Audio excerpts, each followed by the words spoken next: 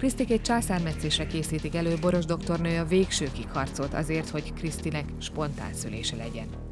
Maga is három gyermekes anyaként ezt a sikerélményt megismételhetetlennek érzi a nők életében. Tényleg nagy a pocakja, az ő alacsony, ő, keskeny, ő, tehát alacsony méretéhez, keskeny csípőjéhez képest. Úgyhogy egy valódi téraránytalanságról van szó, ami miatt császármetszést kell végeznünk. Krisztike és a babája száz éve ezelőtt meghaltak volna. Ezen az órán 10 óra 7 van, úgyhogy 10 óra 12 kell mosakodni. Ja igen, ez meg vagy 5 perces mosakodás? És többféle szintű van? 5 meg 20 meg nem tudom, fél óra, vagy hogy van ez? Vagy csak 5 perces? A mosakodás általában most már minden ilyen fertőtlenítőszer 5 perces. Ötször Ja, hogy annyi idő alatt fejti ki a hatását teljesen, ugye? Az osztályvezető, Krasznai főorvos asszisztál most a doktornőnek. Krasznai a császármetszések szakértője, könyvet is írt a témáról.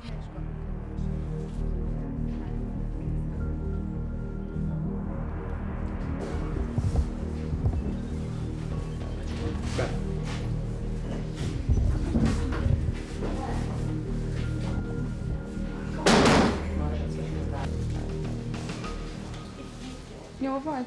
Szedem össze a bátorságomat. Izgul. Nincsen, nem, nem, az nincsen, az nincs. Hát csak izgulok.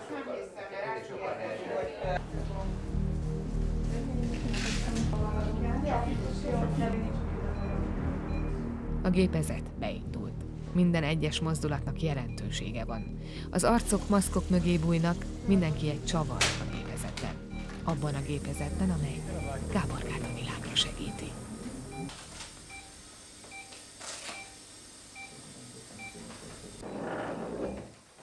Krisztike már nem érez, nem érez semmilyen fájdalmat. Paravánt húznak a teste és a feje közé. Igen. Igen, igen, persze. Csak vigyázz rá, úgyis megakadod. tetszik neki akkor. Az operatőr Borszéki Ferenc TV minisztúdiót rendez be a műtőben. Oldalról csinálok egy képet. A hangok jelzik, átmentem a csíkon. Amatőr lábak, tiltott területre léptem. Steril területre. Jaj, bocsánat, bocsánat, bocsánat. Igenis. Boros doktornő és Krasznai főorvos erőteljes fizikai munkába kezdenek. A vágás mentén szétfeszítik Krisztike hasfalát.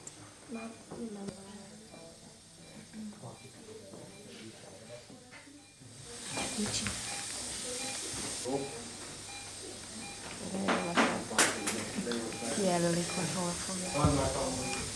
Míg a hagyományos szülésnél használt epidurál érzéstelenítésről megoszlanak a vélemények, a császármetszésnél minden szakember kincsnek tartja, hiszen nem kell altatni a mamát.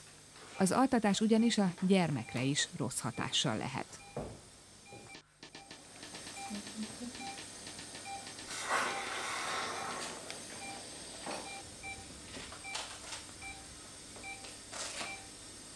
Az orvosok egyre erőteljesebb hátizom munkát végeznek. Ebből lehet tudni biztosan, hogy már megragadták az idegen kezek Gáborkát.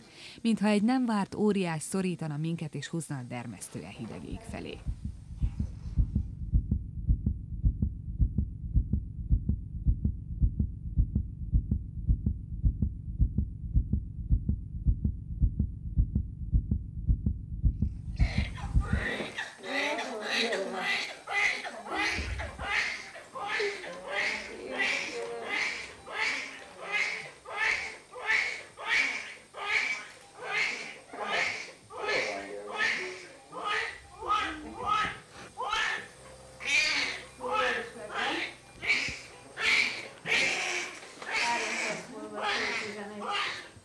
Ezzel a csővel leszívják a műtét közben a csöpség légzőrendszerébe került úgynevezett nyákot.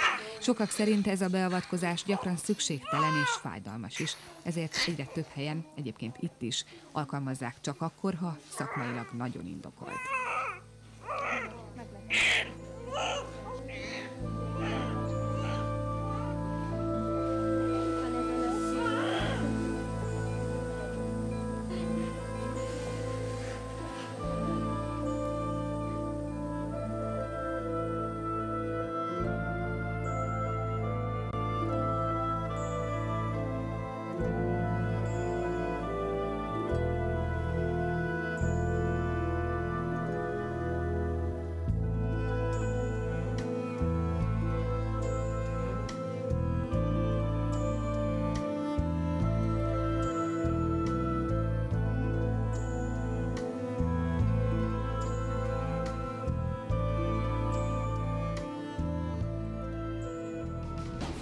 De súlyos egyéniség vette a puskát.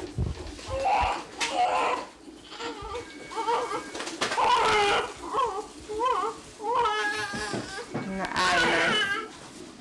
Jó, 3850. 381, gyönyörű, nagyon nagy. Aha, igen, gyönyörű, egészséges, semmi van. Azt nem tudom, azt mondja, van haja is, mindene van. Igen. Gyönyörű, gyönyörű. Ja, most nem köszönöm, majd később. Jó. Jól, mindenki jól van. Nagyon, majd mindjárt visszaviszik neki. Érezted, amikor kivették? Picit, igen. De csak azt, hogy húz, ugye? Vagy Hát, hogy fá... Igen, úgy van, húzás, de... De nem fáj, nem. mondta. De ezek a hangok... Ja. A fogorvosi hangok sokkal rosszabbak. Súlya is van. Megvan minden keze, lába, mindenem. Ezt nem hiszem el. Ő a napfénypont csak. Ilyen is.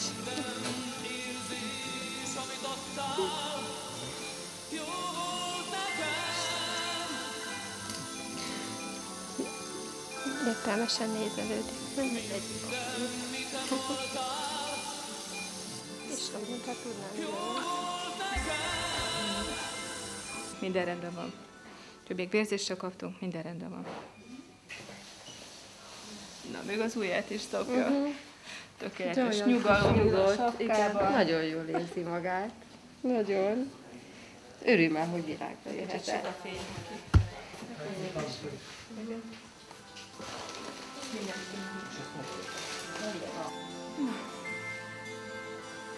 Egy babával több. Majdnem ez oda.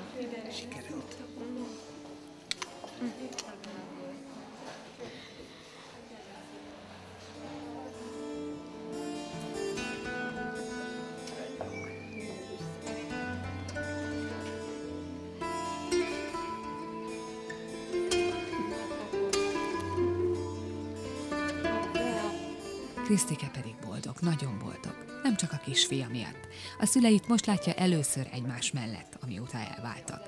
Kimondhatatlan szeretet járja át a szívét.